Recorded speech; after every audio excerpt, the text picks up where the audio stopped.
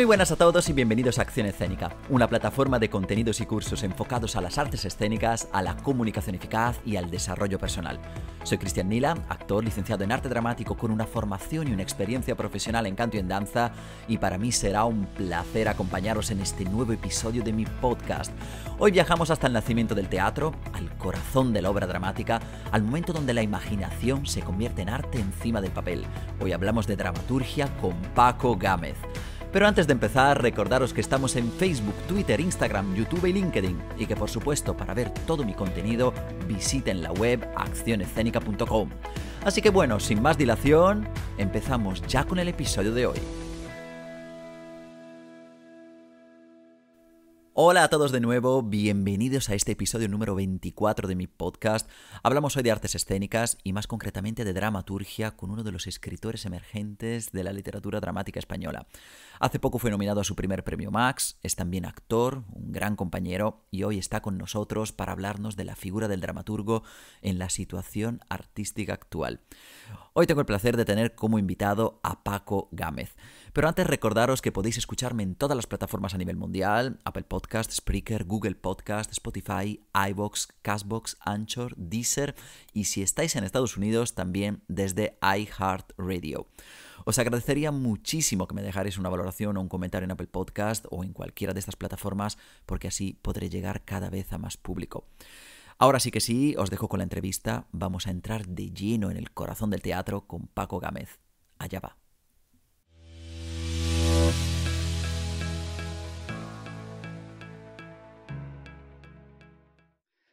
Hola Paco, ¿qué tal? ¿Cómo estás? Hola Cristian, muy bien. ¿Y tú qué tal? Bien, pues muy bien, aquí en esta época como, como hemos hablado un poco rara, ¿no? Pero bueno, seguimos haciendo cosas y seguimos produciendo y avanzando, ¿no? Sí, sí, bueno, yo estoy escribiendo también. Yo llevo todo el tiempo desde el primer confinamiento como si todo fuese un, un, claustro de, de, trabajo y de escritura y hasta ahora no he parado, pero bueno, cruzo los dedos porque es un momento complicado para todas las artes escénicas, claro. Pues sí, pues sí. Bueno, lo, importante es seguir y avanzar y seguir haciendo cosas porque así la gente también se va nutriendo de, de, lo que hacen los artistas. Oye, felicidades por tu nominación a los premios Max 2020, que sé que ha sido una experiencia súper bonita. Y, y, nada, bueno, ya nos contarás después un poquito, ¿no? Cómo, cómo lo has vivido. Sí, bueno, ha sido una experiencia increíble. Hay mucha gente que sí es como los premios más relevantes del teatro español y estar ahí entre esa familia de, gente de, ese nivel ha sido como muy, muy emocionante. Me alegro, me alegro. Oye, de verdad, muchísimas gracias por estar aquí conmigo. Nosotros nos conocemos desde hace años, pero bueno, nuestra audiencia no te conoce, o a lo mejor algunos sí, porque tú ya tienes un nombre, es decir, que ya, ya podemos decir que, que cuando decimos Paco Gámez, alguien dice, oye, pues sí, yo lo conozco, yo he leído cosas suyas. Pero cuéntanos un poco quién es Paco Gámez y, qué, ha hecho, de dónde viene. Pues eh, yo soy de Jaén, de Andalucía. Yo estudié filología inglesa y luego hice arte dramático como actor. Y de un tiempo a esta parte, eh, aparte de actuar, sobre todo desarrollaron la carrera en la parte de la dramaturgia, de la escritura de teatro. Y esa rama ha ido como muy disparada, sobre todo en los últimos cinco años, con muchos premios de, literarios de escritura teatral becas y mucho reconocimiento hasta que, bueno, está también dedicándome a la enseñanza de idioma, hasta que el año pasado ya he podido liberarme de esa parte y dedicarme solamente a la parte artística de creación. Y también estoy coqueteando un poco ahora con la dirección. Qué bien, qué bien. No, además tú, es verdad, tú te formaste, estábamos juntos en la, en la ESAT, te formaste como actor realmente. Sí, sí, sí, mi formación es actoral y bueno, antes de, de entrar en la ESAT de Sevilla yo llevaba muchísimos años haciendo teatro y mi hermana tiene una compañía de teatro en Jaén que llevan luchando por, por abrir las artes escénicas en una ciudad pequeña de provincia durante muchísimo tiempo. Entonces, yo desde muy pequeño he estado muy vinculado al teatro. Mi cuñado es dramaturgo, Tomás Afán, he estado viendo cómo escribían, cómo montaban esos textos, he estado viendo los ensayos, luego actuaba con ellos, montábamos escenografía, todo esto. Entonces, para mí sí que hay una parte de, del teatro que lo contemplo como un todo. Como para mí no ha sido un paso de decir me cambio de gremio de actuar a escribir, sino que yo ahora, en lugar de dar la palabra, de tomar la palabra de otro, empiezo a generarla para mí o para otros actores, claro. Yo creo que además es un proceso normal, porque en el fondo cuando uno se dedica a las artes, en este caso a las artes escénicas, al final cuando nosotros estudiamos nos enseñan un poco todo, ¿no? O sea, a escribir, a, dirigir, a actuar. Al final eh, creo que es importante también para un artista en este caso tocar un poco todas las, las, distintas facetas ¿no? que puede tener el artista, en este caso escénico. y luego que... Claro, y luego también a ti te viene muy bien el hecho de decir, he probado todo y ahora decido lo que quiero hacer. Sí, yo creo que bueno, la formación siempre es un primer paso hacia, hacia el arte, pero bueno, una formación es un primer paso, un tocar cosas y abrir puertas.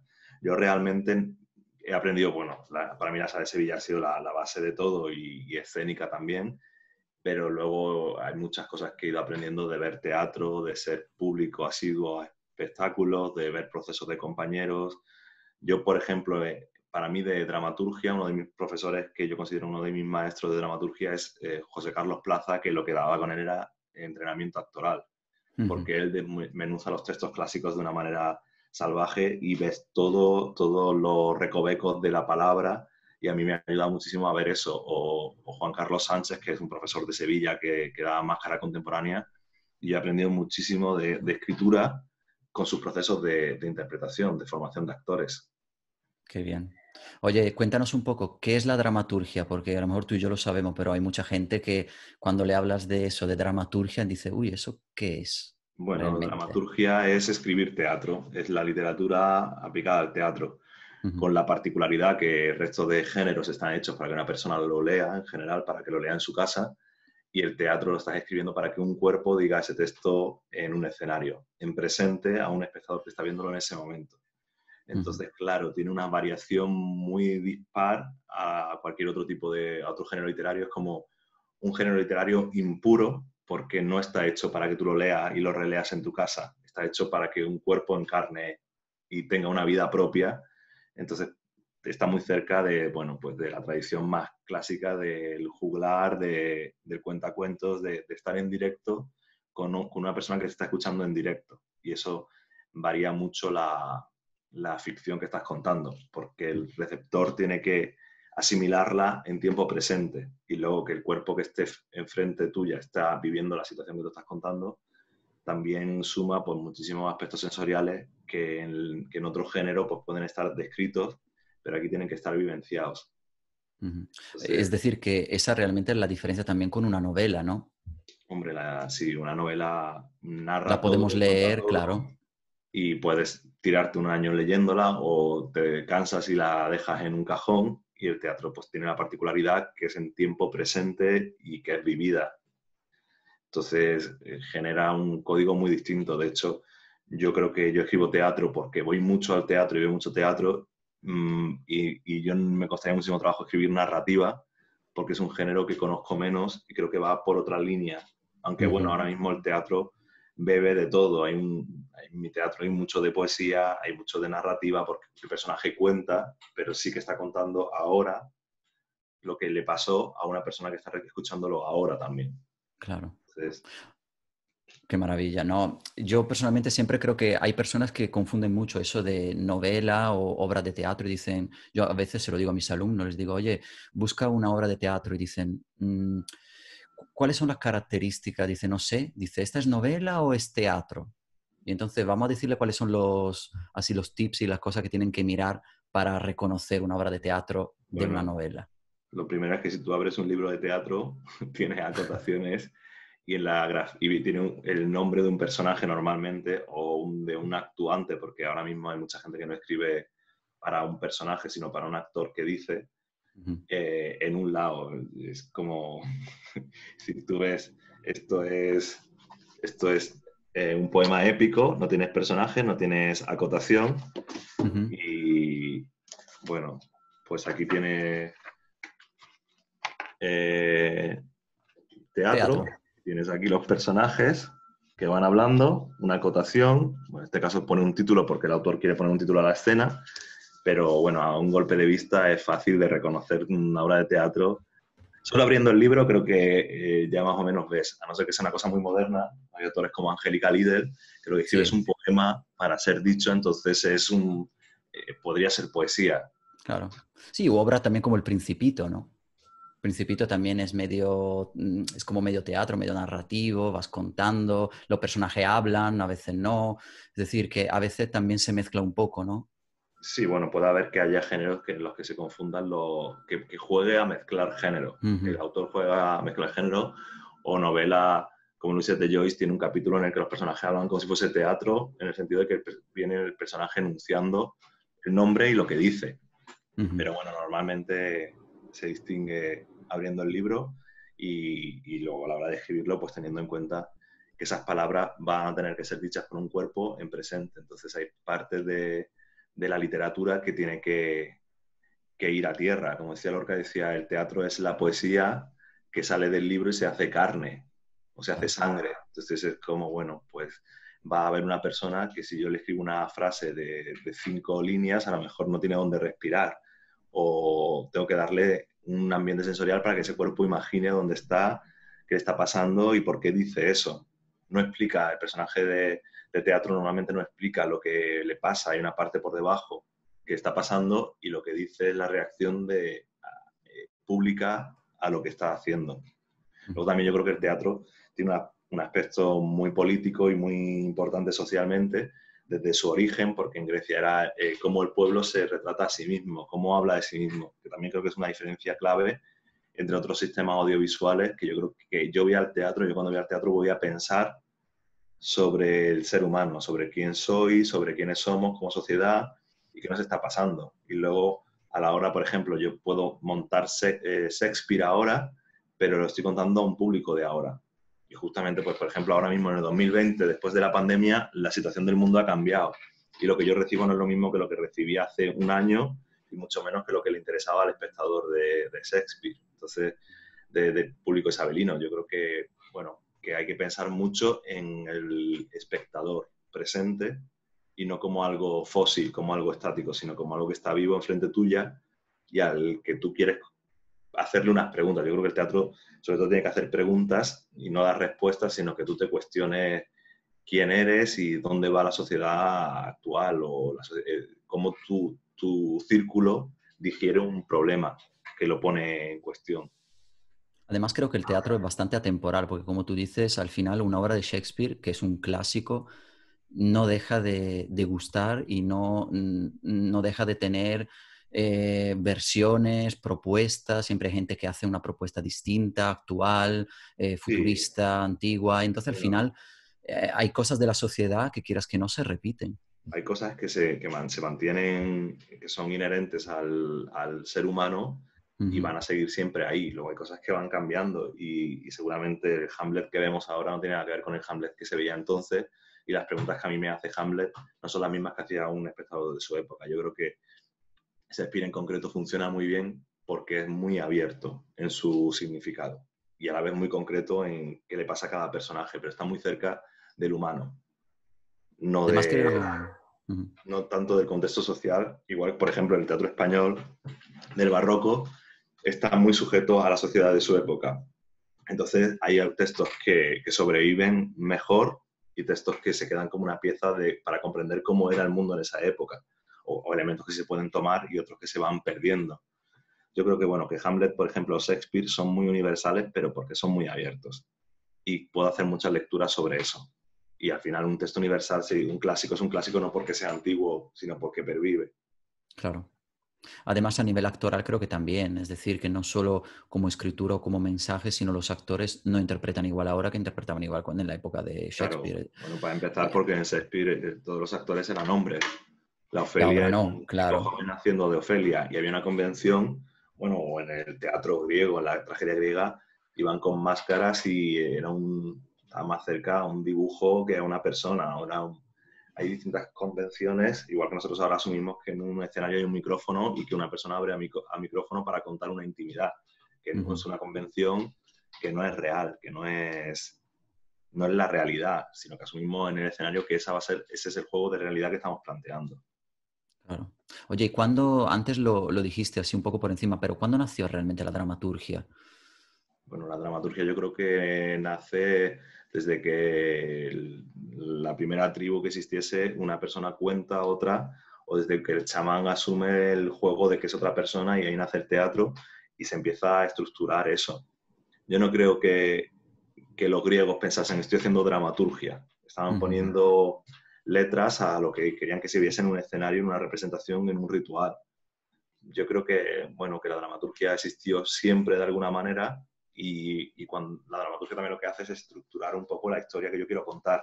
En el momento en el que yo eh, te cuento un chiste y pienso en qué, cómo te lo voy a contar, estoy haciendo una dramaturgia de esa misma historia. Yo creo que, bueno, seguramente la dramaturgia como tal, como la conocemos ahora, como pues es que no es tan antigua como de análisis, desde el punto de vista del análisis de yo lo que estoy haciendo de dramaturgia, pero Shakespeare no escribía sus textos, lo que tenemos son las transcripciones de su obra en el escenario, no había una visión previa de autor. O, creo que la idea de autoría ha cambiado muchísimo a lo largo de la historia, dependiendo de, del contexto. Yo creo que Lope de Vega vendía su, escribía su obra y la vendía a la compañía y ya no era suya, era de la compañía. Ahora mismo, eh, con las nuevas dramaturgias, hay mucho de apropiación de otros textos y tú puedes coger un texto ajeno y meter parte de ese texto, dialogar con ese texto o con un texto clásico. Mm, el concepto de autoría ha ido cambiando y de dramaturgia también, pero yo creo que detrás de cada historia, de cómo cuentas cada historia, o dos niños jugando están haciendo ya su propia dramaturgia. Es como que se ha empezado a hacer sin, sin saber, sin darnos cuenta, y al final con el tiempo hemos ido como analizando, estructurando, entendiendo, ¿no? Lo que gracias a otros autores se ha hecho y, a partir de allí hemos creado como unas bases, unas leyes, una forma de hacer teatro, ¿no? Puede ser que sí, sí. Oye, ¿y cuáles son los, elementos estructurales que tiene, por ejemplo, una obra? Tú cuando te pones a escribir, eh, ¿cuáles son los elementos que no pueden faltar? Yo soy bastante heterodoxo, en, yo no soy un teórico de teatro, pero bueno, hay elementos que están siempre como el personaje, el tiempo, el espacio y el conflicto o el deseo. Luego todos estos elementos se van a ir distorsionando, se van a ir alargando. Por ejemplo, el tiempo en Esperando a Godot, que hace un juego sobre el tiempo, en Chekhov, el tiempo parece que no pasa.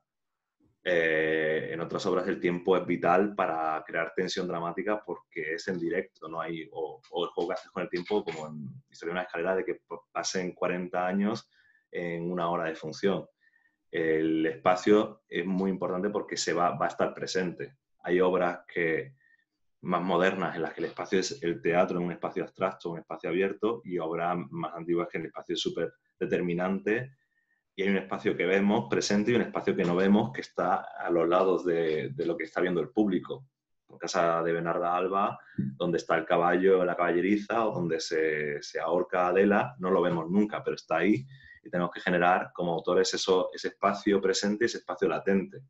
El conflicto desde los griegos ha sido como la base del teatro, porque es lo que va a crear pues, un personaje y otro personaje que se le opone y entre los dos luchan por cada uno por conseguir una cosa. Ahora mismo el teatro mm, más actual eh, reniega muchas veces del conflicto, no tiene que haber conflicto, pero hay que buscar una nueva forma de crear tensión con el espectador para que el espectador asuma eso. estoy hablando sobre todo esto es teatro, el teatro más clásico.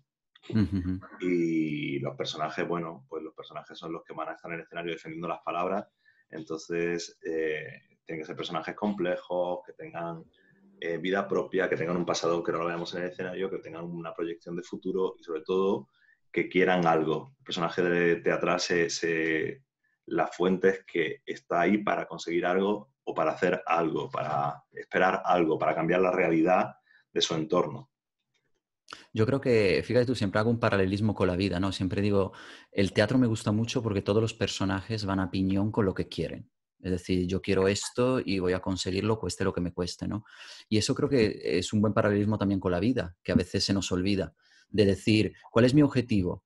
Y voy a por él, busco mis estrategias, mis cosas y voy hacia, hacia lo que quiero. A veces nos quedamos como parados, sí, que a veces lo necesitamos quizá en, algún, en algunos momentos, pero, pero me gusta mucho eso, hacer ese paralelismo con la vida. Como dices tú, a veces no hay conflicto, a veces tengo momentos en mi vida donde no tengo por qué estar luchando, peleando ni nada, pero mi objetivo sigue ahí. Entonces creo que eso es Normalmente en teatro lo que vemos es el momento vital de un personaje, el momento más importante de la vida de ese personaje. El momento de, cambio, de giro y en el que se, pierde la estabilidad. Entonces, sí, bueno, tiene que ver mucho con la vida, pero yo creo que tiene que ver con la vida, con el momento crucial en la vida de cada uno. Luego hay conflictos, yo puedo tener un conflicto hoy de que me peleé con mi amigo y, y puede dar pie a una obra de teatro de un, de un, tipo. O yo puedo tener un problema como, como Antígona que quiere enterrar a su hermano en contra de las leyes de la ciudad y pone en riesgo su vida para ello hasta que muere. Entonces, claro, eh, sí tiene que ver con los deseos de cada uno, pero yo creo que el teatro lo que hace es potenciar ese, lo que tú dices de la vida a la enésima potencia y al nivel más alto. Oye, ¿tú cuándo decidiste realmente decir, bueno, quiero dedicarme a esto, quiero ser dramaturgo? Porque como hemos dicho antes, tú eres actor, ahora te estás metiendo también con la pues parte un poco, pero... Mm, bueno, yo como eh, antes de, yo haciendo teatro, llevo haciendo teatro desde que tenía, yo creo que me subí a un escenario con 13 años la primera vez, y ha sido como constante. Al principio yo decidí estudiar filología inglesa porque no, hay una parte de la actuación que decía, me prefiero dejarlo en, un, en, otro, en otro lado de mi vida que no sea mi vida profesional. Poco a poco entré, cuando decidí hacer arte dramático, porque ya tenía mucho el gusano del teatro y dije, quiero profesionalizarme y quiero saber lo que hago, quiero tener unas herramientas claras para entender qué estoy haciendo que no sea eh, probar, que luego es un error porque al final toda la vida es prueba y error y jugar y cada función que empiezas es una aventura nueva. Estando yo en arte dramático, como tenía ya también la parte literaria muy desarrollada por la filología, eh, escribí un texto como un juego, es decir, voy a probar a ver cómo es escribir esto y fue El hombre en llamas, se publicó y después de eso estuve mucho tiempo sin escribir. Escribí otro texto, lo mandé a concurso, no gané nada y dije, bueno, pues ya está, pues eh, sigo por mi carrera actoral y ya está. Y a lo, hace como cinco años creo que, que sería, o seis, estaba en un montaje como actor que yo impulsé, que se llama Calderón Cadáver, en el que trabajaba con muchos autores, ocho autores que habían ganado el premio Calderón, escribían fragmentos de, a partir de la obra de Calderón de la Barca. Y estando recibiendo esos textos breves de muchos autores, de muchas voces, dije, quiero escribir también, quiero buscar mi voz, no para ese montaje, sino otra cosa. Y escribí autos que ganó un premio y se publicó la revista Primer Acto, que es una revista muy importante en España, es la revista más antigua que hay de teatro ahora mismo.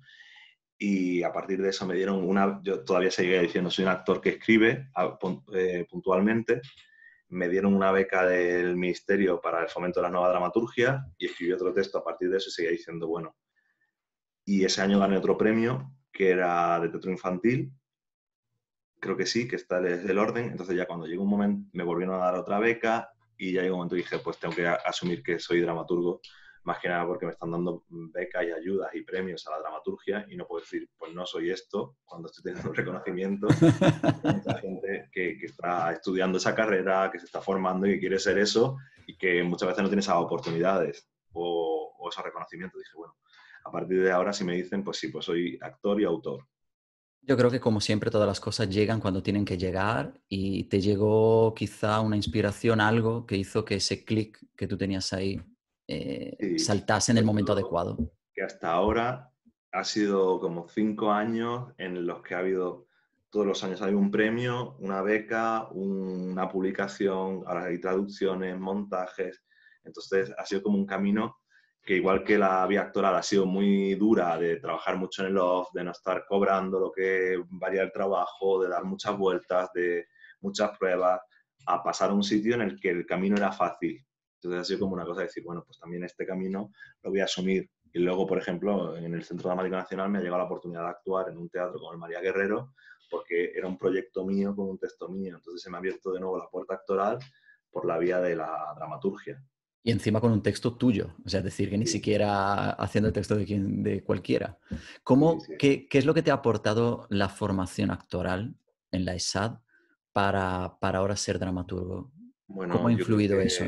Pues muchas cosas, desde el conocimiento del teatro, con lo que estudiamos con María Pagrillo, que me parece que es una genia y una sabia, y te da una perspectiva sobre el teatro, a lo que trabajábamos de razón para entrar, de, de distinto, de trabajo físico con Marty, todo. Es que yo creo que me, me ha dado con muchísima perspectiva y también a mí me ayudó muchísimo que fuese en Sevilla y que tuviésemos un teatro como el Central, con una programación de teatro vanguardista europeo que me, abrió muchísimas puertas a comprender muchas cosas desde el patio de butaca, sin, sin estudiarlas, porque ahora mismo tengo libros de, dramaturgia que digo, esto que es como muy sesudo, y yo lo he visto y lo he asimilado como espectador, que hay un juego con el espectador que, se, que entra muy rápido.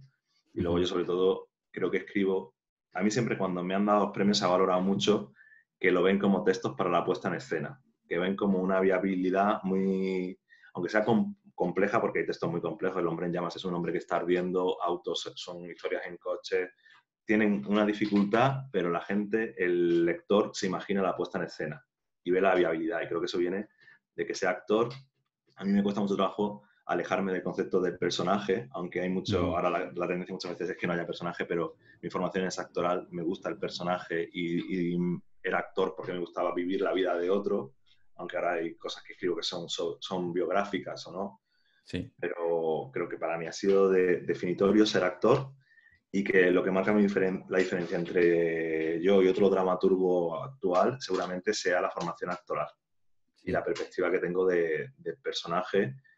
Eh, yo he estudiado textos como actor de autores muy reconocidos, muy importantes, que tienen una literatura maravillosa, pero como actor era muy difícil de defender. Y yo como estoy leyendo mi texto y pienso esto como lo dice en un escenario, de dónde te sale y dónde viene y por qué. Entonces, esos puentes eh, creo que en mi teatro, eh, o parece mejor, otras veces peor, están, que es el trabajo, al final, el trabajo del actor es llenar los huecos entre las palabras. ¿Por qué dice esto? ¿De dónde le viene este pensamiento? Y yo creo que eso yo lo voy haciendo mientras que estoy escribiendo, porque escribo como si, como si improvisase, como si fuesen las condiciones del personaje muy claramente y me meto en ese personaje para ver qué diría en esa situación yo como actor y luego pienso en, su oponente y veo cómo respondería a lo otro. Entonces creo que tiene mucho que ver con, mi formación actoral. No, me ha, gustado mucho que hayas mencionado el tema de, ir a teatro, porque eso parece que hay mucha gente que me escribe, por ejemplo, y me dice, oye, yo quiero ser actor, ¿qué tengo que hacer?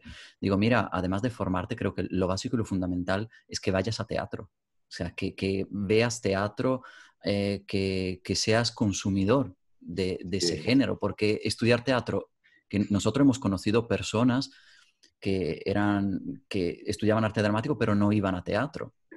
Es que Yo creo que al final el teatro, dedicarte al teatro es vocacional. Claro. Eh, o a la interpretación o a lo que sea. El, mundo del arte es muy complicado. También tardas tiempo en, comprenderlo. ¿eh? Yo había muchas veces que decían, eh, eres actor porque no puede ser otra cosa. Hay una parte que sí y una parte que no. Pero sí que es cierto yo ahora mismo, eh, yo vengo de trabajar esta mañana, de trabajar ayer por la noche, trabajar antes de ayer, pero es que no, porque no es un, trabajo no, no es un trabajo, es una No lo vives, no lo vives como trabajo, lo vives como algo que te gusta. Está siendo pura todo el día. Claro. Y yo al final, pues hay una parte que, aunque me agote y también intente separar mi vida de, de esto, sí que me chupa muchísima vida y muchísimo tiempo íntimo, porque al final es una cosa que disfruto. Y al fin, bueno, tengo que ver cómo me lo planteo ahora, porque también hay muchas veces que estoy muy agotado y pienso, tendría que descansar más o tendría que no ir al teatro, o veces que estoy con muchas cosas de escritura a la vez y proyectos y no sé qué, y digo, no puedo con más ficción, no puedo ver ahora una serie, porque no, no me entra en la cabeza más mundo imaginario y necesito estar en la, en la realidad. Pero sí, yo creo que sí, una persona que no le guste ir al teatro, que no le guste ver teatro y que no le guste, pues entonces a lo mejor debería dedicarse a otra cosa. Sí, no, yo me siento muy reflejado contigo porque me pasa lo mismo. Es decir, para mí no existe domingo, no existe sábado, no existe lunes. Mm, sigo trabajando y a veces hasta por la noche me pongo y digo, oye, voy a hacer esto, voy a ensayar, o busco un texto, busco... Y al final me meto en 18 millones de cosas, pero porque, porque algo que no me, aunque me canse, y como tú tengo que decir stop, para, pero, pero es verdad que no lo percibo como trabajo y creo que eso también es, es notar que es tu vocación, que haces lo que te gusta, porque no sientes que te pesa como trabajo.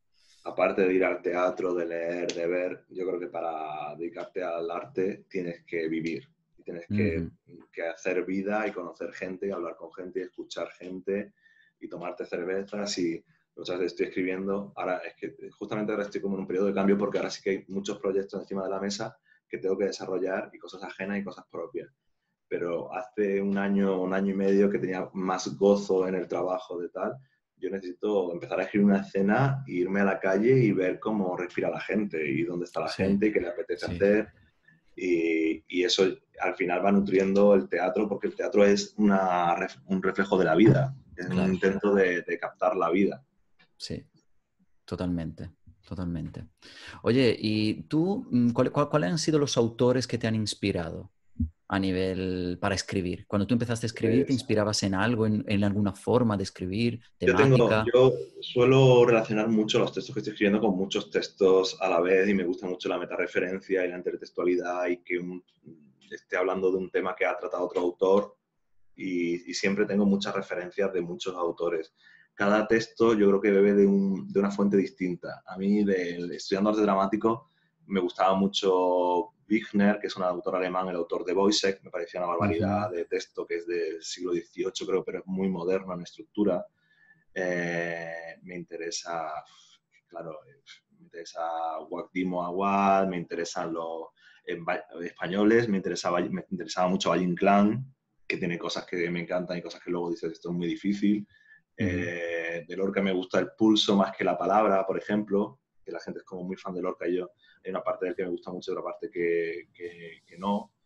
Eh, Angélica me encanta lo salvaje que es y lo brutal. Me gustan normalmente los autores que son bestias y que se manchan, se manchan las manos cuando están escribiendo y tú ves que ahí hay algo eh, oscuro o algo difícil o un proceso complicado de escritura que no es ortodoxo. Eh, voy a hacer esto, voy a tener...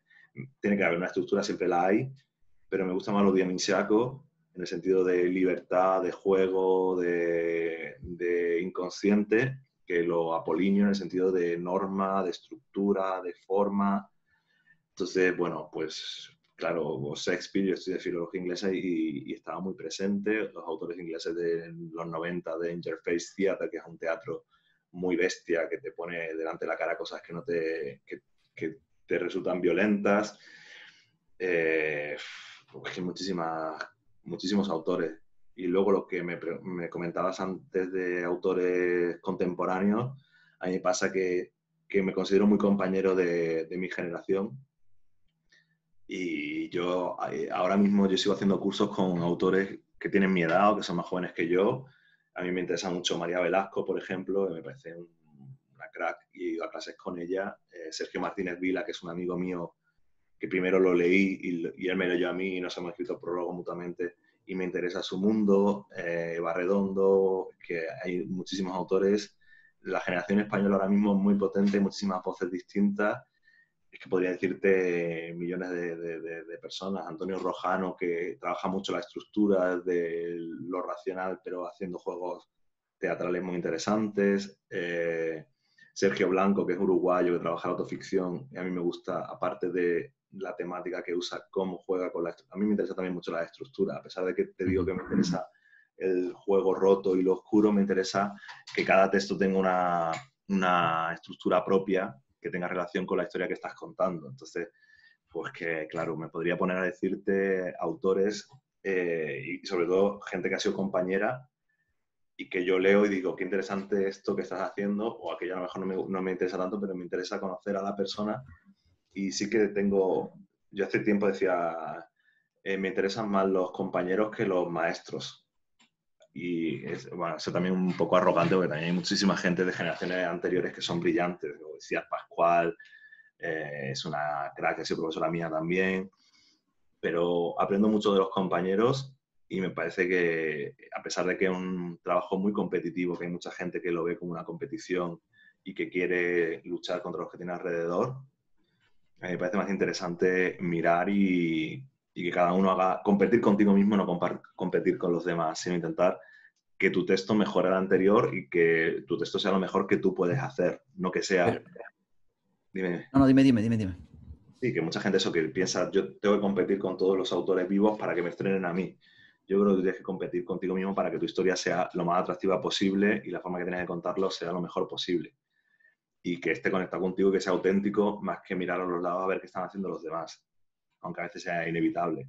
Claro, pero de todas formas, fíjate tú que tu planteamiento no me parece mm, de una persona a lo mejor que como muy egocéntrico ni nada, para, para nada. Es decir, que tú realmente ves que todos tus compañeros son compañeros y te pueden aportar cosas. Hay, hay autores o a lo mejor hay gente que se cree que lo suyo es lo mejor y que no tienen que aprender nada de los demás. Pero en tu caso no. También creo que como actor, como nos hemos formado, como es que claro, la, formación de actor y el trabajo de, de dramaturgo es muy distinto porque el trabajo de dramaturgo muchas veces es un trabajo en solitario, en biblioteca. Yo no soy ese tipo de autor. A mí me gusta estar en contacto con los actores, con la vida.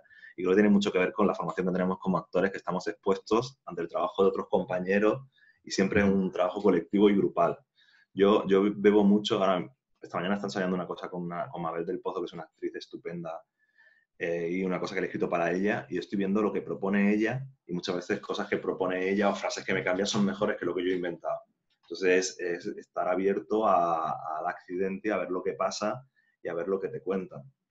Claro. Eh, no, yo creo que es fundamental. Es fundamental porque al final así tú bebes de los demás, los demás beben de ti y al final hay como una mezcla de, sensaciones, de, cosas que uno quiere compartir y de ahí salen las genialidades, sale, sale lo mejor de uno mismo. Yo creo que como tú dices, estar uno encerrado en casa, no vivir, no compartir, creer que el enemigo está fuera, cuando realmente al final casi siempre los enemigos somos nosotros mismos, de nosotros es, tener un poco ese planteamiento de, autodesarrollo personal y superarse uno a uno mismo y no creer que sean los demás los que van en contra tuya. Creo que eso es, fundamental. Lo que dices de compartir también, yo he participado en muchos laboratorios también. Ahora estoy, he estado hace poco con Sansi Sinisterra eh, en un laboratorio con varios autores que estamos escribiendo sobre memoria histórica. Ahora estoy en País Vasco con una beca que da el gobierno vasco con Donosti, Ciudad de la Cultura 2016, creo que era, eh, ¿cómo se llama? La, asociación o la parte del ayuntamiento que da eso. Y estoy trabajando con muchos autores contando mi proceso y viendo sus procesos. Estuve en el laboratorio de la GAE y sobre lo que decías también, y como lo que dices que tiene muchos seguidores en Sudamérica, también estuve el año pasado en Panorama Sur, que es un encuentro de autores, de, autores hispanoamericanos, y, y ahí trabajé con, una barbaridad de, autores de, toda Hispanoamérica. Estoy buscando para decirte nombre de compañeros porque eh, yo también en la revista Primer Acto, que ahora trabajo con ellos, eh, pedí escribir sobre compañeros y compañeros eh, contasen su, un poco cómo era su dramaturgia y que querían escribir, porque muchas veces en España desconocemos cosas que pasan allí o allí desconocen cosas que pasan aquí. Entonces te digo eso de, por ejemplo, Marta Luisa Hernández, que es una autora cubana amiga que es brillante, era increíble. Eh, Paula Cancela de Argentina, que es otro, todo, lo que estoy diciendo son autores jóvenes que están empezando a abrirse camino, pero que tienen una voz eh, maravillosa. Eh, Pedro Simón, que es boliviano y, escribe cosas también preciosas. Carolina Olivera, que es uruguaya. Eh, estoy pasando páginas. Ana Lucía Ramírez Garcés, que es mexicana. Eh, también está Diego Luna, mexicano, increíble. Que son gente que a mí eh, me rompía los esquemas porque no, no, trabajan desde el mismo lugar que trabajamos aquí en España o hay otras modas, otras tendencias que, son muy interesantes. Pero que eso te enriquece, en el fondo, te enriquece y te hace salir un poco de la rutina, de la visión que tenemos nosotros en nuestro país, porque al final Mm, queriendo o no, vivimos en un sitio y ese sitio eh, influye mucho sobre la visión que tenemos de las cosas. Sí, te digo otros dos nombres que me quedan aquí de compañeros, que era Said Peseski, que bueno, que él está viviendo en Colombia, trabaja mucho en Colombia, pero es mexicano, y Gabriela Ponce, que, eh, que, es boliviana, creo que es ecuatoriana, ecuatoriana, y eh, son voces maravillosas para la gente que, que esté en Sudamérica y que quiera conocer nueva dramaturgia hispanoamericana, latinoamericana, eh, son brillantes. Qué bien, qué bien, maravilloso. Yo sé que la gente estará tomando nota como locos, pero bueno, como esto está grabado, ya lo podrán poner 18 millones de veces. Sí, también me gusta, me parece que es muy importante como ser generoso con los compañeros que, que han compartido procesos contigo. Sí porque muchas veces eso, eh, sí que ahora mismo, hace, cuando yo empecé, cuando escribí esto que te digo con autores, tenía una visión de la autoría como que después del mundo de la, de la, actuación que es muy competitivo, muy, muy competitivo, yo decía, bueno, ahora mismo el mundo de la autoría me parece mucho más amable, mucho más generoso. También llega un punto en el que la gente deja de ser generosa porque hay un nivel de competición muy, muy muy grande y bueno, yo creo que es importante como decir nombres de compañeros, que la gente conozca a otra gente, que conozcan otros trabajos y, y, bueno, pues eso, dar visibilidad a gente, pues eh, si aquí en España alguien escucha esto y busca estos autores, va a descubrir voces muy bonitas y muy interesantes. De todas formas, Paco, siempre pienso que al final lo de la competición lo creamos nosotros, pero en el fondo em, cada uno debería, como tú dices, intentar desarrollarse a sí mismo, eh, intentar superarse a sí mismo. Y es verdad que en el mundo actoral es como que yo voy a un casting y si no me cogen a mí, a ver si cogen a otro. Pero es que el problema no es que yo soy igual que esa persona, somos dos personas distintas. Entonces, si cogen a otra persona, a veces no es porque sea mejor que yo, es porque a lo mejor tiene otras cosas que yo no tengo y yo tendré otras cosas que él no tiene. Por lo tanto, eh, creo que eh, tenemos que un poco entrar también en ese enfoque, ¿no? De que no somos todos iguales, de que no siempre se coge al mejor, de que, pero creo que pasa un poco en todos los trabajos y en el tuyo también. Lo que tú aportas como Paco a la, dramaturgia no lo aporta otro autor. Sí, pero por ejemplo, a mí me ofrecen, me pueden ofrecer un proyecto y es bienvenido y va a ser genial, pero seguramente puede que haya otro autor que, ese proyecto le vaya mejor. Porque yo tape esa situación, eh, no voy a ganar nada. que intentar que no haya otro autor que yo no, no supone que sirve. yo sea el mejor, sino que, bueno, yo conozco, yo tengo amigos que eh, si quieres contar una historia de tal, yo creo que eh, los hermanos Bazos son los mejores para esto. O Javier Hernando, o, Javier, o Javier Vicedo Alós, porque tiene un mundo poético, yo voy por otra línea. Entonces, cada uno tiene su, su, voz propia y como actores, pues lo mismo, cada uno tiene, aporta una cosa y muchas veces pensamos que, bueno, pensamos, yo he visto, pues eso, compañeros que tapan casting para que no se entere otra persona, pero es que, a lo mejor no te lo dan ni a ti ni a esa persona y a lo mejor a esa persona le solucionaría la vida y cuanto más generoso sea, yo creo que más cosas te van a venir, porque cuanto más des tú, pues esa gente luego se acordará de ti y te dará. Yo, los compañeros autores, Carolina África es una tía súper generosa, que siempre que he tenido algo, ha tenido algo o te ha dicho, mira, mira esto, mira aquello, yo creo que a ella le vienen muchas cosas estupendas porque, porque ella ofrece. Y creo que eso, como artistas, eh, ser ruin y ser mezquino al final pues te lleva a, una, ser una ruina tú como, como persona. Como persona, eso, no como artista, sino como persona. Oye, ¿cuáles son tus objetivos como dramaturgo? Porque hemos hablado mucho de, bueno, autores clásicos, de contemporáneos y tal, pero tú como Paco Gámez, ¿qué es lo que le estás aportando a la dramaturgia y, cuál es tu objetivo? yo que, pensar qué aporto yo a la dramaturgia me parece como una pregunta muy grande. Yo lo, lo, único que intento es contar historias que toquen de alguna manera al que la recibe o que le hagan pensar o que den voz a gente que normalmente no la tiene o que no tiene la posibilidad de contar en un escenario quiénes son. Entonces yo creo que, bueno, más que, que aporto, creo que no me plantearía que aporto yo, sino que me aporta a mí el arte, que me, supone una forma de, vida y de, de, me sanea la cabeza y me da alas y soy feliz dentro de ese, de ese oficio. Y yo lo que intento aportar es lo, lo que puedo, lo, lo, mejor que puedo hacer con una historia, intentar ofrecerla a un público. No, eso es maravilloso porque es lo que te digo, cuando te pregunto qué es lo que aportas, es porque al final de Paco hay solo uno, solo existe un Paco. Y ese Paco está aportando muchas cosas buenas, creo, a la dramaturgia nacional, porque como tú dices, aunque tú seas una persona muy humilde, porque sé que lo eres, pero creo que sí estás haciendo algo muy bueno. Entonces, no, estás aportando muchas cosas a la dramaturgia contemporánea, sobre todo en España, porque eh, eh, si te están dando tanto premios y tantas cosas. muchas cosas, yo estoy contento y, supongo que, bueno, yo también tengo que tomar conciencia de lo que, lo que voy haciendo, pero para mí es mejor trabajar desde la libertad, decir, quiero contar esto y voy a hacerlo de la mejor manera posible y quiero meterme en esta piscina, en este mundo, en esta historia, porque, porque quiero, más que porque voy a recibir o qué aporto yo al... creo que el otro es secundario. Creo que si pones el objetivo en la meta, Uh el camino y que el camino no, no, es, la meta no va a ser la que tú te esperas. Yo con cada trabajo, todos los trabajos que he hecho hasta ahora, porque claro, como había mucho premio, hay una parte que parece como tú vas al premio. Yo normalmente, obviamente, me, porque es la, la vía de, de, que me publiquen, que me conozcan y que me den dinero por mi trabajo. Pero eh, si no conectas contigo, si no conectas con lo que quieres contar, si para ti no tiene una relevancia absoluta lo que estás contando, yo creo que no le va a interesar a, un receptor. Y yo con los premios que he tenido suerte, aparte de suerte, eh, que mi talento ha sido conectar. Que si hay otras personas en el jurado, que esto les toque de alguna manera y que vean que hay una voz contando una historia para ellos, no, no intentando ganar el premio, no intentando hacer un juego de palabras. No, a mí no me interesa tampoco la dramaturgia como, como barroco de palabras, de, hacer la mejor metáfora. A mí me parece que lo importante es qué cuentas y encontrar una forma bonita de contarlo y que atraiga a un espectador, que, la, que lo, lo, lea o lo, vea desde un patio de butaca se sienta apelado y que haya, bueno, que haya un tema complejo, que haya delicadeza en cómo tratas ese tema y que te abra los ojos sobre algo que no sabías.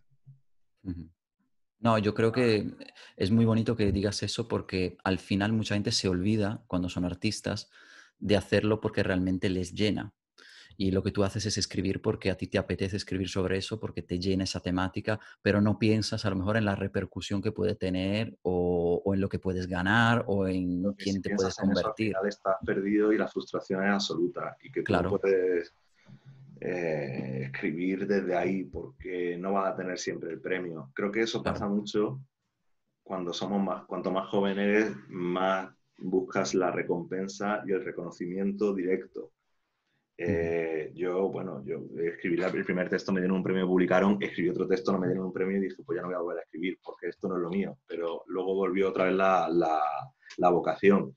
Pero sí que creo que, que tienes que hacer las cosas por ti y, porque tú necesitas hacerlas, no por lo que vayas a recibir, bueno, porque sobre todo en el arte, pues para eso te haces banquero o te haces empresario y, te, va a ir, te va a ir mejor. Si es la ambición de, oye, que y bueno, en el mundo actual ahora mismo que pues te miran los followers, te miran el, el físico, están muy expuestos, pues hay actores que, pues a lo mejor con 20 años no tienes el mejor físico para que te estén llamando, pero a lo mejor tienes un alma que cuando lo, lo, pones de frente de una cámara se ve y, funciona. Y a lo mejor no funcionas ahora y funciona dentro de ocho años, que son muy raros los caminos que nos depara la vida. Y hay un poco que seguir el olfato de cada uno, la inspiración de cada uno y luchar por, por lo que tú quieres o por lo que tú crees que, que, que puedes aportar ¿qué quedas tú? Lo que tú dices, ¿qué, quedas tú? ¿Qué, sumas tú al teatro? Pues yo intento sumar lo mejor que, puedo dar. y a mí el teatro me da mucho como a cambio de eso. sí, yo... Sí, te entiendo perfectamente porque ya te digo, lo que estamos haciendo ahora mismo tú y yo, es decir, acción escénica, nace de mi intención de compartir con gente que no puede o que no ha tenido la posibilidad, por ejemplo, de escuchar la voz de un dramaturgo, en este caso como tú, o de un actor, o de otras personas que, quieren estudiar teatro, pero no pueden. Y entonces, pues, de esta forma, mm, pueden conocer un poco este mundo desde su casa. Y he, hablado con muchísima gente porque me escriben y me dicen, vivo en un pequeño pueblo de Venezuela o vivo en un pequeño pueblo de México y yo aquí no puedo estudiar teatro. Me dicen, ¿me puedes ayudar? Y digo, por supuesto que te puedo ayudar. Yo todo lo que voy subiendo, lo que voy compartiendo, las entrevistas, todo eso es material que si tú lo ves, probablemente te vas a hacer una idea y vas a aprender mucho estando en tu pueblo. Entonces creo que el concepto de compartir es fundamental que yo también, cuando, quizá cuando más aprendí también, era cuando yo estaba en Jaén y tenía poco acceso a teatro. Y, mm. leía, imaginaba, intentaba buscar mi propia película y cómo contar las cosas, estaba haciendo teatro aficionado y, yo creo que muchas veces las herramientas están en lo que tú observas de la vida y cómo tú entiendes la vida y cómo... De hecho, muchas veces pienso eso, que cuando yo hay una parte que digo, yo si no fuese de Jaén a lo mejor no me dedicaría a lo que me dedico, porque vivía en una ciudad que había pocas posibilidades y tenía como muchas expectativas de qué hay o de imaginar qué es lo que hay. Ahora mismo en Madrid hay muchísimas cosas y voy de un lado para otro viendo cosas, pero quizá eh, el impulso no nace de, si a lo mejor hubiese sido un niño de Madrid que tenía acceso a todos los teatros, a lo mejor no hubiese ido a ninguno. Yo soy pro, soy pro personas que hemos tenido poco, porque yo creo que eso te obliga a a tener un poco ese impulso, ¿no? A hacer que la cabeza funcione. Al final, tenerlo todo tampoco es bueno. Yo creo que hay que mirar un poco eh, dentro y también que buscar la grandeza de lo que hay alrededor nuestra. Yo, en Jaén cuando era adolescente muchas veces iba a la catedral porque la verdad es espectacular. Decía, un hombre ha hecho esto. Si estás en otro sitio que no hay un gran monumento, hay una naturaleza y, al final el arte lo que hace es imitar la naturaleza y, y observa lo que hay alrededor y piensa en qué hay en tu entorno mm, de grande y yo sí tengo esa, eso sí que tengo esa ambición de, de buscar lo, lo, grande y lo, lo excelente y, y, lo estupendo, es decir, que cómo se ha generado esto. Y, y, yo creo que eso es importante, como intentar buscar lo que trasciende mm, de, del entorno, de lo cotidiano, de la vida. Yo, por ejemplo, mi madre, yo escuchando a mi madre, hay mucho de lo que yo he aprendido a escribir, de cómo mi madre cuenta y cómo ella vive la, las historias o siempre cosas que te, que te, pueden aportar. Ahora mismo también con Internet tenemos una ventana abierta a cualquier cosa. Yo escribí, por ejemplo, Chapman, que es sobre el asesino de John Lennon, y yo hablaba de Nueva York sin haber pisado Nueva York. Yo eh, viendo buscaba en Internet información para ver cómo eran las cosas que podía encontrar de allí. Y a los años fui a Nueva York y había cosas que eran como yo imaginaba y cosas que eran muy distintas, pero la obra de arte no, no se basa en la, imitación, sino en la, en la apreciación, en la, en, la recreación de algo que puede existir o puede no existir.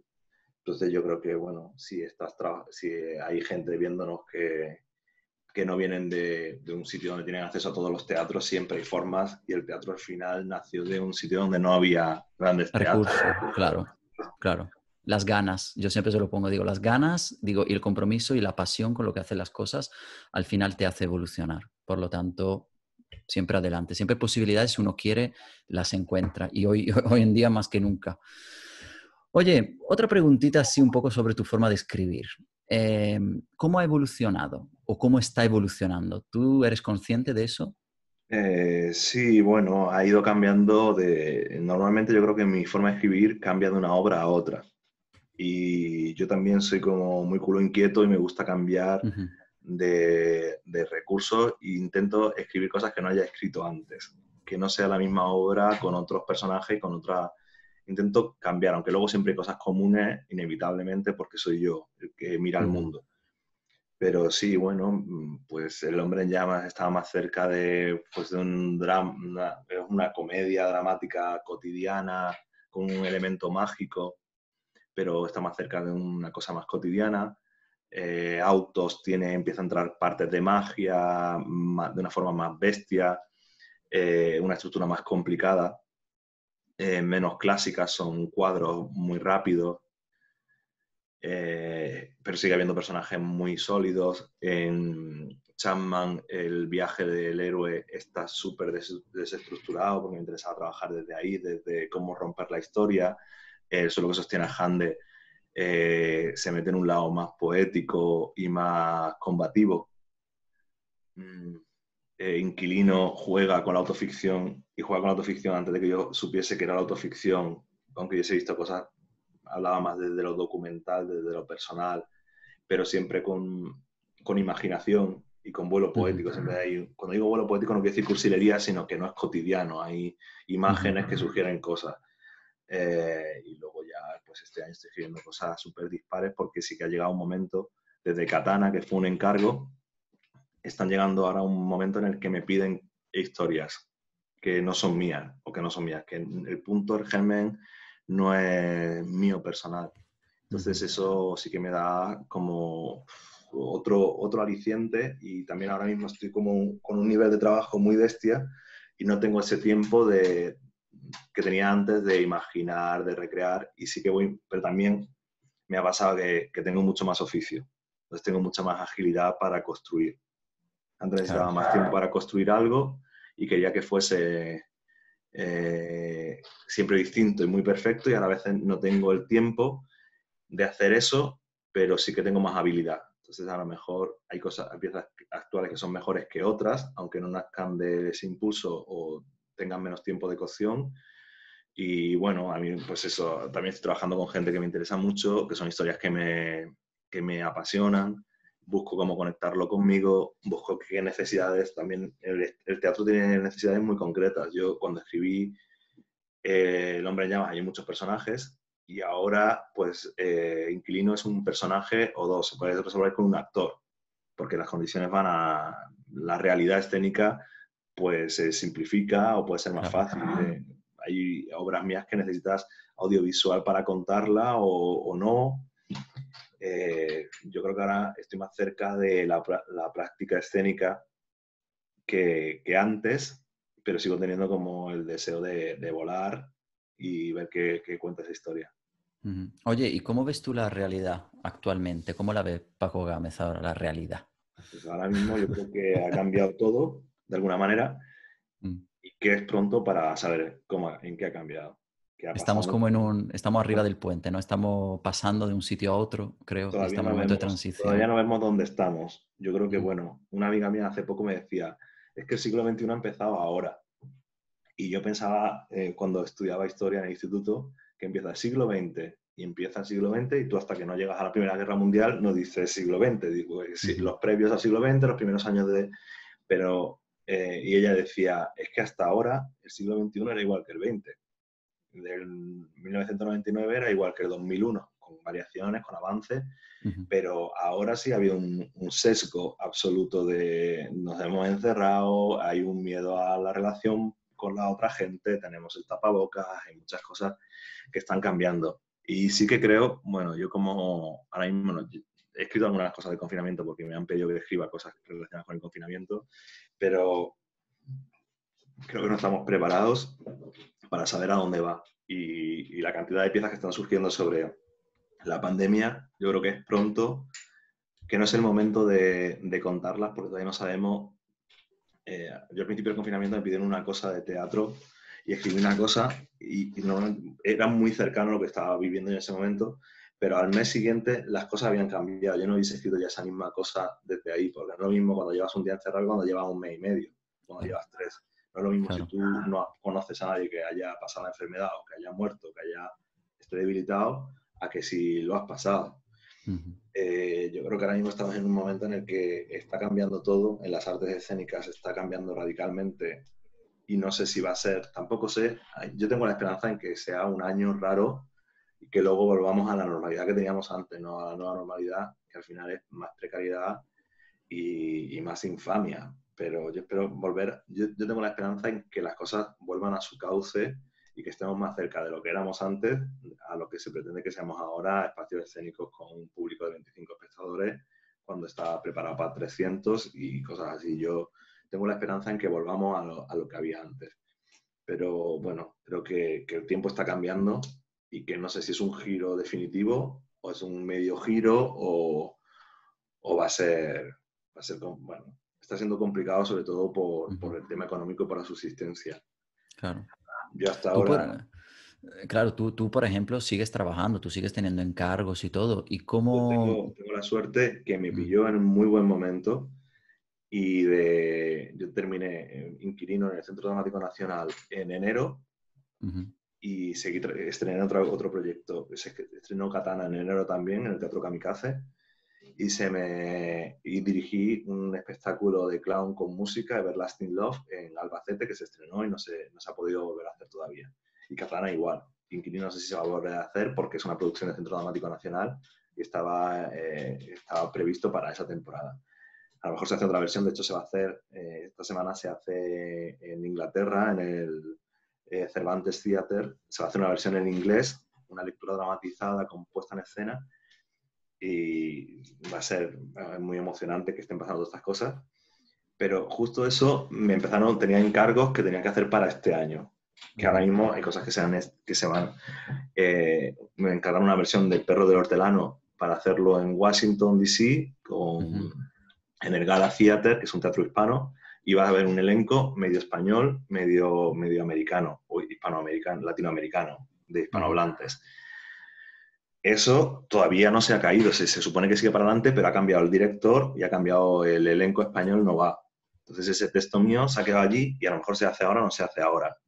Eh, tengo, hay otro proyecto para Sevilla con la Compañía Nacional, con la Compañía de Teatro Clásico de Sevilla, que mandé un fragmento de un texto eh, colectivo y va a ser un montaje para el Lope de Vega y parece que no va a ser un montaje para Lope de Vega que se va a publicar como libro. Todo está cambiando pero yo estaba ya, afortunadamente, estaba en una rueda de mucho trabajo y sigo. Yo ahora mismo tengo que entregar como dos proyectos en, este mes, que, proyectos grandes. Y, y, no sé si cuando, si esto sigue, si todo se frena, yo voy a notar el frenazo y el parón el año que viene, no este, porque este año todo esto, si esto no se, hace, se quedará guardado en un cajón para después. Porque esto, esto es el resultado también de toda la cola y de las cosas buenas que has hecho, pero claro, el año que viene, cuando ya tengan que venir nuevos proyectos que se están forjando ahora, es cuando a lo mejor se va a notar realmente. Yo creo que lo notaréis, pero no será porque eh, lo que se, se, iba a hacer este año no se haga y se tenga que hacer al año siguiente. Entonces, eh, y teatros nacionales o teatros potentes como, bueno, pues en el Centro Dramático Nacional es, es muy raro que esté dos años seguidos. No, no deberías estar dos años seguidos porque hay muchísima gente trabajando. Entonces, pues yo a lo mejor el año que viene no voy a estar. A lo mejor el mm. si se retrasan cosas, no estoy el siguiente tampoco. Y a lo mejor el otro. Entonces, todo se va retrasando. ¿Y tú cómo estás viviendo a la hora de escribir todo esto? Porque antes me decías que eres muy de vivir, de, de alimentarte de lo que sientes con las personas y tal. ¿Cómo, pues, ¿cómo, está, ¿Cómo está influyendo todo esto en tu dramaturgia? Bueno, pues hay una parte que me, como he tenido mucho encargo, me ha venido bien estar encerrado. Mm. Necesitaba salir cuando nos dejaron salir las tres horas. Yo pasaba las tres horas haciendo cosas, haciendo deporte, haciendo, necesitaba salir a la vida. Eh, y estando muy en contacto con muchísima gente a través de Zoom, a través de plataformas y con gente con la que sigo teniendo el trato de cercano, me he hecho amigo de los vecinos de frente, tengo como... Eh, sí, a mí, bueno, realmente eso me... En el momento en el que estaba tenía que entregar muchas cosas y tenía trabajo de, como ayudante de dirección en la joven, en una compañía aquí en Madrid muy potente. Y yo creo que hay cosas que no hubiese, hubiese tenido que rechazar por tiempo. Entonces al final me ha venido como si estuviese enclaustrado trabajando. Es decir, pues estoy en una residencia artística en mi propia casa y tengo que, escribir todo esto antes de verano. Lo que pasa es que justo después de verano salieron otras cosas y todavía no he tenido eh, una pausa. ¿Y en tu forma de escribir a la hora de las ideas, de, la inspiración, pues todo ha sido Como, ha sido como más lento el proceso, yo muchas veces pienso, voy con la moto y voy pensando en las cosas que, en la historia que estoy contando y me vienen ideas porque estoy eh, así. Y, lo que está escribiendo, justo una cosa persona que está escribiendo con lo de Sánchez Sinisterra de memoria histórica, que era duro sobre una situación complicada de la historia reciente de España, estar encerrado y escribiendo eso me costaba muchísimo trabajo escribirlo. porque tenía que entregarlo, si no, no lo hubiese escrito, porque era como en una lucha eh, más grande de decir, es que no, no tengo un respiradero para esta historia, no tengo un respiradero vital para salir y decir, bueno, esto que estoy tratando del franquismo, ahora salgo y estoy aquí, estoy súper a gusto y me voy a tomar una cerveza. No, era como, sigo encerrado con esto. Entonces, en la escritura, pues a lo mejor hay textos que son más angustiosos. O también hay una parte con lo de Lope de Vega, por ejemplo, o con la zarzuela, que me encargaron una adaptación de una zarzuela del Teatro de la Zarzuela aquí en Madrid. Eh, pues eran como evasiones súper estupendas porque estaba en otra época, estaba en otra España, estaba en otra alegría y son comedias y está en la diversión. Entonces, bueno, pues supongo que, que cada historia pues se, se, contamina de alguna manera de lo que tú estás viviendo, pero también puede ser un, una vía de escape por, eso, por eso te pregunto, porque he hablado con mucha gente y sienten un poco eso, la sensación de que todo va como en su cabeza más lento, ¿no? Es como que sacan al final lo que quieren hacer, pero les cuesta más, ¿no? Eso creo que, creo que es normal al final. Sí, yo creo que los partos así son mucho más complicados, los, los partos creativos. Los embarazos son más largos. Pero yo he tenido la fortuna de que me pille con mucho trabajo entonces no he podido no he podido darme el lujo de decir me voy a bloquear ahora porque no, no, no, he podido. Pero supongo que, bueno, yo mucha gente me dice es que eres, tú debes aprovechar el confinamiento también de puta madre. Digo, bueno, aparte que me ha venido bien para crear otra parte anímica que es muy agotador. Y sobre todo ahora yo puedo pegarme un sprint de trabajo y tal pensando en una salida. Y, y ahora mismo la hemos tenido con las vacaciones mínimas. Si ahora nos vuelven a encerrar, no sé si voy a hacer como, no, no, no, puedo escribir ahora porque necesito ¿Qué miedos, vamos ahora un poco a los miedos tuyos, cuáles son los miedos de un dramaturgo normalmente, de ese, de ese trabajo? Pues, o qué miedos han, nacido también un poco, porque a lo mejor hay cosas, hay miedos nuevos, ¿no? Que surgen de, toda esta situación también, pero... Yo es que no trabajo mucho con, con el miedo. Yo si tengo un miedo bastante reactivo y, y, lo que me produce miedo o riesgo es donde me gusta ir, porque creo que es donde está la, el quiebro, donde está la, la posibilidad de cambio y, y todo esto. Yo, pues, es que no sé decirte miedos como dramaturgo, pues que no guste lo que estás escribiendo, eh, pues que no se entienda por lo que quieres contar, que te interpreten de una manera totalmente opuesta a la que tú estás intentando contar una historia. Eh, pues yo qué sé, ser tonto con, lo que estoy, con el tratamiento de lo que estoy tratando, que no sea, que, que no darle las vueltas que podría darle. Mm, no sé. Bueno, ya me has dicho unos cuantos. Esperemos no tenerlos todos. Oye, vamos a darle algún consejo a, alguien, a lo mejor hay algún dramaturgo o dramaturgo en potencia, como, como fuiste tú en su momento, que a lo mejor está allí, escribe cosas, pero no se atreve, no sabe qué hacer. Pues, ¿qué consejo le darías?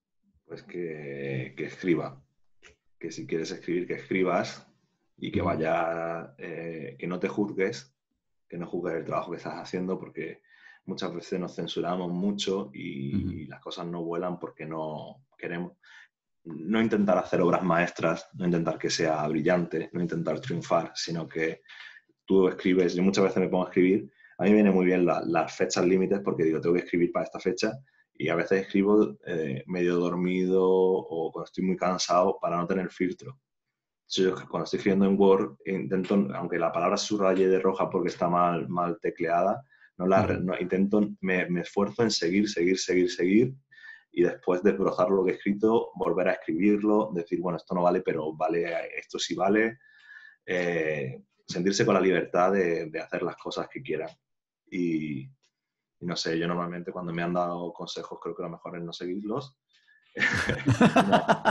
Por lo tanto... Los consejos, que, los consejos, bueno, cuando estás leyendo algo, que cualquier persona que te lea, que estés abierto a ver qué te quiere decir, pero que escuches también tu voz interior, que no hay un decálogo de cómo ser dramaturgo, que yo normalmente todas las cosas que, que me han funcionado han sido las cosas que parecían que no podían funcionar o, o ir a los sitios que tú piensas que aquí hay un quiebro, esto no, no va a funcionar. Yo, inquilino, Inquilino es una obra que trata sobre el piso donde yo vivía, que me subieron al alquiler y tuve que abandonarlo. Y decía, pero ¿tiene sentido que cuente esto? Porque hay gente que tiene una situación muy bestia o familias enteras que terminan en la calle y yo al final pues me puedo ir a Jaén con mis padres. Pero digo, bueno, sigo el camino. Tengo un impulso de contar pues, que hay gente también con una situación em, económica medio normal que puede irse a la mierda, como era mi circunstancia en ese momento. Es que yo creo que también es interesante contar cosas. A veces pensamos que tenemos que contar cosas, uff, y a lo mejor la cosa más sencilla, más natural que le pasa a todo el mundo no la cuenta nadie. y a lo mejor eh, se agradece escucharla también. Sí, que tienes que buscar qué, quieres contar tú y cuál es tu voz dentro del conflicto, de, de, una circunstancia concreta. Yo no puedo ir, podía hablar en ese momento sobre un gran desahucio eh, o sobre los bancos, porque no, no, no, tengo la, no era mi experiencia, pero podía hablar sobre lo que pasa a un joven español que supuestamente tiene dos carreras y que tendría que tener una vida formada y que no puede tenerla porque la economía se le echa encima. Y, con ese texto, pues eso, hay momentos en los que eh, yo sigo impulsos muy subjetivos. Yo hay un momento en el que describe el personaje se está haciendo una paja en un balcón y dices, ¿cómo va a contar esto? ¿Por qué cuentas esto? Y digo, bueno, pues porque, porque el personaje necesita estar en ese sitio y poseer ese sitio. Y eso se convierte en una metáfora que va a otro sitio. Podría no estar, podría no estar, pero mi impulso creativo es que esté, porque estoy contando otra, otra cara del personaje y no estoy contando solo el conflicto, está contando un desvarío. Yo creo que hay que seguir un poco los impulsos y, el instinto personal y el olfato y ver qué, qué, aportas tú a esa historia que no aporta el vecino o que no aporta otro autor. Genial. Oye, y mm, estamos llegando un poco al final de la entrevista. Yo estoy como muy encandilado porque te estoy escuchando y estoy aprendiendo un montón de cosas. Yo sé que la gente también. Y te voy a hacer una pregunta. Yo sé que tú estás viendo un poco, vives un poco al día a día, en el sentido que, como me has dicho, no eres una persona que, que hace un proyecto con el objetivo de, sino que lo haces porque te lo pide el cuerpo, porque quieres disfrutar, porque quieres aportar tu voz, ¿no? Pero tú que ahora estás un poco en el mundo de la dramaturgia a nivel nacional, ¿qué crees que falta y que, y que habría que cambiar de lo que hay ahora mismo? ¿Crees que hay algo así que se podría mejorar? Yo creo que, bueno, que hay que dar muchas oportunidades a mucha gente. Eh, mi generación es cierto que ha tenido bastante más oportunidades que la generación previa. Habría que, que, dar espacio a gente que no lo ha tenido todavía, de generaciones previas que han estado partiéndose la cara por escribir. Y luego creo que hay que tener mucho respeto por, por el arte en general, tanto por la actuación como por la escritura, por todo. Entonces, eh, hay que dar espacios a, a, las nuevas voces y hay que darle dignidad a los procesos y hay que darle un apoyo real y hay que, hay que, hay que generar una red importante de solidaridad entre compañeros y de, de compadreo, de decir, bueno, vamos a apoyar lo que están haciendo los compañeros y voy a... Yo muchas veces creo que hay que, que me ha faltado sentir muchas veces el apoyo del de, gremio y creo también que esta, esta generación está un poco separada de la anterior porque nos faltan muchas veces los maestros para entender el camino. Cómo, cómo hago yo para entrar en este teatro y qué pasa aquí. Yo ahora, por ejemplo, estoy trabajando con la jóvenes, estoy trabajando con José Luis Arellano, que es un director estupendo, y estoy aprendiendo mucho porque es muy generoso y yo veo cómo ha trabajado él, que ha trabajado con generaciones, él no, tiene, no es mucho mayor que yo, tiene, cinco años más que yo, pero, pero tiene una vivencia muy distinta porque él viene de una generación en la que había maestros y había discípulos y tú aprendías del que venía encima tuya. Yo creo que nuestra generación, como ha habido más precariedad, los que estaban antes, que han podido trabajar, han cerrado de alguna manera la puerta o han trabajado de alguna manera o han abierto la puerta como medio abierta, medio no, y que muchas veces nos falta herramientas para comprender el sistema, cómo funciona, a mí me faltan todavía y estoy más metido en el sistema que hace un año o hace cinco, pero nos hace falta eso, eh, dar espacio, luego también, por ejemplo, hay que dar mucho apoyo, a, hay que generar. Eh, cuando la generación de mi cuñado, que está más afán en Andalucía, que está Gracia Morales, Asmo Susurro que, se, que está allí, Salvatierra, hay una generación de dramaturgos súper bestia. Y ahora mismo los dramaturgos andaluces no estamos allí, estamos en Madrid, están en Barcelona, están donde sea. ¿Por qué? Pues porque eh, desde la Junta no, no hay una inversión en, en, que eso se potencie y se valore. Yo flipo cuando a mí me cuentan que fueron a hacer un curso con, con Sarah Kane, que era la autora inglesa por excelencia en Sevilla y que tuvieron, un, estuvieron dos semanas con Sara Kane allí eh, y digo, pero ¿y eso dónde está ahora? Ah, en Andalucía incluso el premio Romero Esteo era importante porque genera gente escribiendo cosas buenas, cosas malas, cosas de todos los colores, pero hay gente escribiendo para ese premio porque hay una dotación económica y hay un prestigio. Si tú borras todo eso, te quedas sin, sin, sin mimbres para que, que haya una generación futura de dramaturgia ahora mismo en Barcelona, en Cataluña, hay una generación de dramaturgia muy potente. ¿Por qué? Porque se hace una inversión, porque consideran que, como quieren están generando una identidad nacional catalana, pues eh, invierten en ello y entienden que la cultura es la forma de generar eso aparte del deporte. Yo creo que, que en Madrid o que en Andalucía, sobre todo, hay que hacer una inversión muy bestia y comprender que eso es un, un bien de, cultural, nacional, territorial, porque si no estamos muy, muy perdidos y muy desamparados.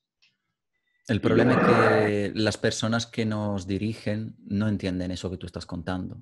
Entonces miran probablemente otra cosa que están un poco más a nivel económico, a nivel tal. Y... Por ejemplo, el ejemplo más claro, con Cataluña hay una defensa a lo propio salvaje.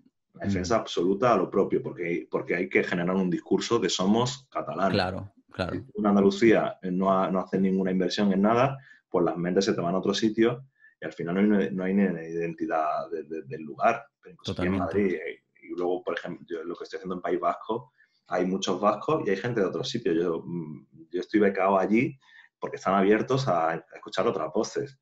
Y yo creo que es muy importante estar abierto, estar mirando a Europa, estar mirando a América, estar, hay eh, que mirar a todos lados y tener redes.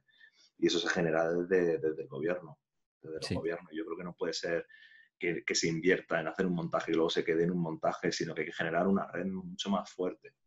Y dar apoyos y dar visibilidad y valorar lo que se está haciendo. Y yo, por ejemplo, el primer premio que gané, eh, me, pasó una, me ha pasado con varios premios, de, autores noveles, de, principiantes. Me están dando un premio y dentro del mismo premio hay una parte de, empleados, de funcionarios que te tratan con la punta del pie. Eh, yo gané un premio de poesía que lo publicaba la Diputación de Jaén y yo no tenía acceso, eh, me dieron 10 libros y el resto de libros están en una caja en un sótano y no, no salen de ahí. Y yo he hablado, y a mí la, funcionaria que, que, tiene los libros, que es una señora, me hablaba fatal. Decía, bueno, es que estos premios, dice, pues es que si tú no valoras el premio que estás haciendo, ¿quién lo va a valorar? Pero Paco, ahí entramos en un, en un, debate también de que hay muchos que son funcionarios por ser funcionario y no son personas que, que le gusta su trabajo ni que piensan en los demás, piensan en el sueldo que van a ganar a final de mes. Y ahí está el problema muchas veces de las cosas. Por eso... Es importante hacer una apuesta desde la cultura. Cuando hay un Ministerio de Cultura, cuando hay una Consejería de Cultura, la gente que esté ahí tiene que apostar por la cultura. Tú no puedes claro. por la política ni por el poder y la gente igual que lo que tú decías de por qué haces esto, qué quieres. Entonces, tienes que pensar qué, qué, aportas y qué sumas al todo. Y qué, qué aportas y qué sumas no a la cultura solo, sino a la sociedad en la que vive.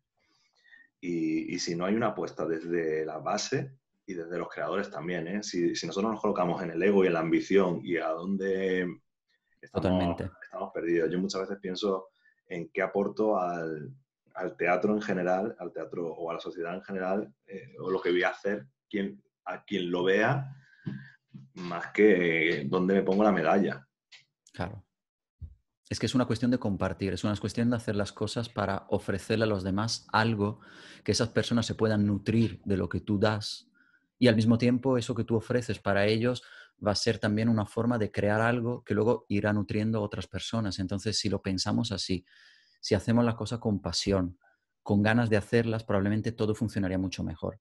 Pero hay veces que, como estamos diciendo, eh, sobre todo a determinados niveles, se hacen las cosas por ambición política, dinero, eh, seguridad económica, y entonces, claro, mm, todo se para, todo no, no se desarrolla, no funciona.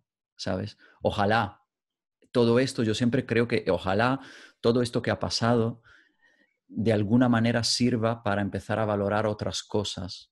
A mí, por ejemplo, sí me ha servido, me ha servido mucho la, introspección. Yo siempre he sido una persona que, que se ha mirado mucho para adentro, pero con este confinamiento, con esta situación, me ha servido para entender aún más muchas cosas. Y entonces, eh, también mi proyecto esto de acción escénica o mi forma de actuar o mi forma de compartir con los demás ha cambiado. Entonces ahora valoro mucho más algunas cosas que antes las pasaba por encima porque las tenía todos los días y entonces pues... Así que creo que eso es, la cuestión, cuando tú tienes pasión, hacer las cosas con pasión y no con un objetivo, creo que, que va a hacer que todo sea mejor y de más calidad, además. Estoy de acuerdo, estoy de acuerdo. Pues Paco, yo te lo he dicho, me quedo así embobado hablando contigo, pero te voy a hacer ya la última pregunta porque no te quiero quitar tampoco mucho tiempo y luego porque yo sé que nuestros alumnos están allí, bueno, alumnos, seguidores, estoy acostumbrado entre la clase, una clase y la otra, que, están allí apuntando cosas porque a lo mejor algunos dirán, oye, pues voy a escribir algo. Te voy a hacer la última pregunta, que es la que le hago a todos los invitados de Acción Escénica y es una pregunta más personal ya no, estamos hablando de dramaturgia ni de teatro ni de nada, pero sí hablamos de Paco. Eh, ¿Qué es lo que le han aportado las artes escénicas en general a Paco, pero como persona? ¿Cómo has cambiado tú sin las artes escénicas? ¿Cómo sería Paco? ¿Te lo, te lo, has preguntado alguna vez? Mm, no sé cómo sería yo. Eh, desde muy pequeño estaba muy vinculado al teatro. Desde muy pequeño, entonces no me imagino cómo es no estar vinculado al teatro para mí eh, ir como espectador al teatro es como podría ser para mi bisabuela ir a misa. Yo necesito ir para estar en comunión con la sociedad en la que vivo, para entender quién soy y quién es el mundo. Yo creo que a mí el arte me ha hecho más consciente, me ha hecho más crítico eh, desde el arte. Yo creo que yo alzo mi voz contra cosas que yo no las la alzo en mi vida cotidiana, es decir, bueno, no, estoy haciendo una manifestación en contra de los desahucios, pero puedo contar, puedo criticar este sistema desde una pieza artística.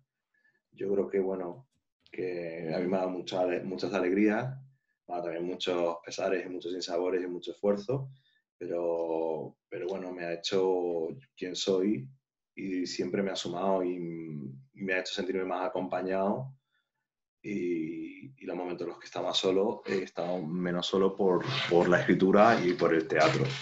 Entonces yo creo que a mí me, el arte me, me, me valido muchísimo la pena y es una parte eh, que no puedo separar de mí. Es decir, no sé quién sería yo sin arte porque sería otra persona o sin el teatro. Se nota, se nota porque además era una persona que cuando habla de su trabajo no habla solo desde el punto de vista profesional, sino se nota que, que, es como una pieza de tu ser, una pieza de tu forma de ser, que lo, que lo vives y que algo que amas profundamente, no solo porque te gusta. Sí, bueno, creo que va más allá del gusto, creo que tiene que ver con la idea de vocación y con la idea sí. de, de, cómo te posicionas en el mundo. Uh -huh. Y para mí me posiciono en el mundo desde el escenario, uh -huh. desde el escenario, desde la palabra teatral. Maravilloso. Paco, yo de verdad, te, primero te voy a dar las gracias porque ha sido una entrevista preciosa, muy bonita. Y ya no hemos hablado solo de dramaturgia, sino que creo que le has enseñado muchas cosas a la gente a nivel humano y creo que eso es fundamental. Así oh, bueno. que sí, es verdad. Oye, tenemos, oye, yo sé que tú eres muy humilde, pero hay que ser también, eh, hay que ser consciente también de lo que uno aporta. Y yo creo que eh, tu forma de ver la vida, tu forma de ver el arte, a lo mejor está despertando en mucha gente cosas. Y eso también es bueno y hay que, y hay que asimilarlo, ¿no? Hay que decir, oye, pues algo estoy haciendo bien para todo el mundo. Entonces te doy las gracias porque te digo, ya no ha sido solo hablar de dramaturgia y de dramaturgo, sino también hablar de ser humano, ¿no? de, de, vida, y eso es, eso es muy bonito. Vale. ¿Dónde te puede encontrar la gente? Porque ahora todo el mundo dirá, Paco Gámez, a ver, ¿dónde lo encuentro? ¿Qué puedo ver? ¿Qué puedo Oye. leer? ¿Qué puedo tal? Pues tengo muchos textos publicados, yo creo que... Uh -huh. pues, los pondré, que no te preocupes, los pondré. Yo se puede leer, en contexto teatral hablo un poco de mi biografía, Uh -huh. eh, tenía una página web que, que, ahora mismo la tengo cerrada porque no sé si tenía una utilidad, porque es mucho dinero al año y digo, bueno, la reabriré seguramente, pero ahora mismo la tengo cerrada. Estoy en Facebook, estoy en Instagram. En uh -huh. Yorick, por ejemplo, se pueden pedir los libros. Uh -huh. eh, yo creo que también está en la FNAC, está en, en, casi todas las librerías, se pueden pedir aunque no estén. Eh, pues en los bares y en los teatros. Nos vemos en los bares y en los teatros. Además, yo desde Acción Escénica cada semana publico un, un, consejo bibliográfico para gente que está apasionada por el teatro, por la comunicación y todo eso. Así que esta semana te la dedico y el sábado publicaré uno de tus libros que a mí me ha enamorado, que además he tenido también la suerte de interpretar. No lo voy a decir porque no quiero decir nada, pero, pero bueno, con nuestra Esther Alonso, que conocemos los dos, compañera. Y amiga, así que nada, ya lo, la gente estará ahí diciendo, Dios mío, ¿cuál es? Bueno, pues ya lo verán. Pero... Wikipedia, Wikipedia, no tengo, pero estoy deseando que me haga una Wikipedia, así que si se anima algún... Oye, pues, pues te digo una cosa, ¿eh? ya que esperemos que no pase, pero que la Wikipedia te la puedes hacer tú también, ¿eh? Sí. Sí, no, claro. Sí, sí, sí, sí, sí, sí, sí, sí, sí, sí, sí. Si bueno, quieres, yo, voy a esperar, yo voy a esperar a que me la hagan. que te la hagan, ¿no? voy a esperar a que me la hagan, sí. Vale, vale, vale. Bueno, Paco, oye, muchísimas gracias de verdad, un placer y estoy seguro que todo el mundo ha aprendido un montón contigo hoy. Muchas gracias. un saludo, nos vemos pronto. Hasta otra. Chao.